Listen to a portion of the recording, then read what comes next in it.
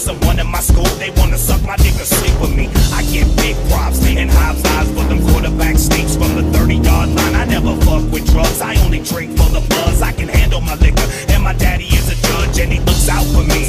But what about the prom queen? It's been at least two weeks since she's been heard from a scene. Susan Casada, her mama is a lawyer, and her daddy is a doctor. Her pictures in my locker, her body's in the lagoon. Underneath the lily pads glow from the moon. Dark, watery tomb, consumed by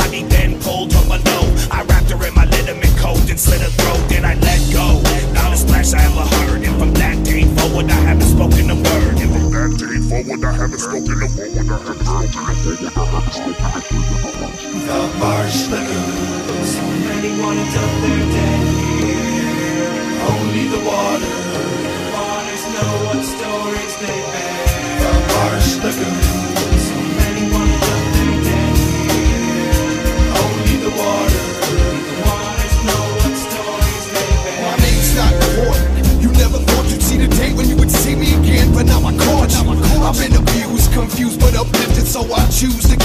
inside. But that shifted to a hate that'll keep me alive until your heart stops. Padlock your pine box and drop it in a black marsh. To hell and back is where my mind has been. And once upon a time, I had a friend I thought I really could confide in. Flashbacks and a touching, uncomfortable feeling. Can't sleep much at night. I'm crawling the ceiling. Got me feeling like I'm sick and depressed. Cause everybody that I'm told, well, they just laid it to rest. But now I'm 25, and I'm sick of all the talking. Now I'm stalking you, waiting by the door that you'll be walking through.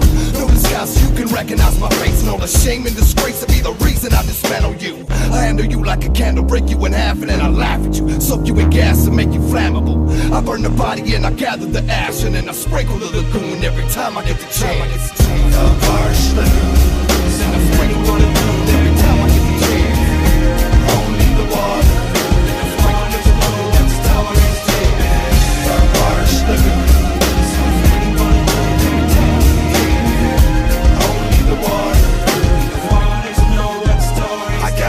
Initially, I told everybody one day I'ma snap and leave a crime scene bloody. But they only think I'm playing. I'm just Dave from Donut Hut. They always like, "What up, Dave Nut?" When I show up, but that doesn't really bother me. I suppose yet there's a darkness inside of me which eagerly grows. When I was younger, I murdered off some neighborhood squirrels, and this abandoned garage was like my own private world. Now it's honey. I had a bad dream again.